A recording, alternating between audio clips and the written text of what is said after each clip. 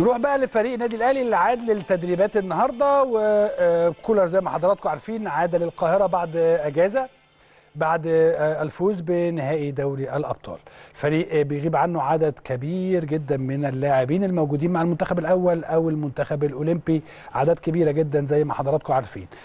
خلاص قفلنا ملف نهائي دوري الأبطال الإفريقي. وهنبدأ بقى المباريات اللي جاية والأهلي بعد الأجندة الدولية هيكون عنده تحديات مهمة جدا جدا وضغط مباريات رهيب زي ما حضراتكم عارفين.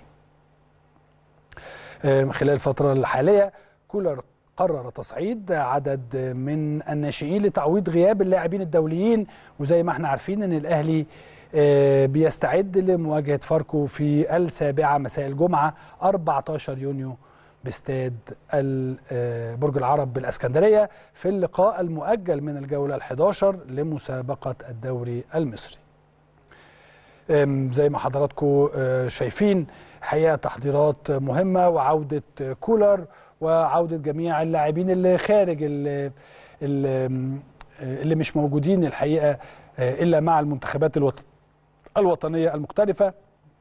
سواء مع منتخب مصر الأول أو مع المنتخبات الأولمبية. كل التوفيق للنادي الأهلي خلال المرحلة المقبلة.